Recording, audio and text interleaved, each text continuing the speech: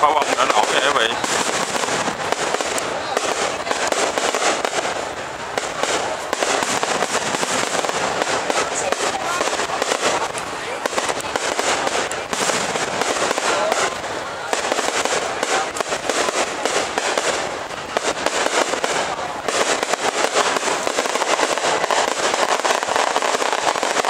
tất cả các máy quay khí định hướng về pháo bông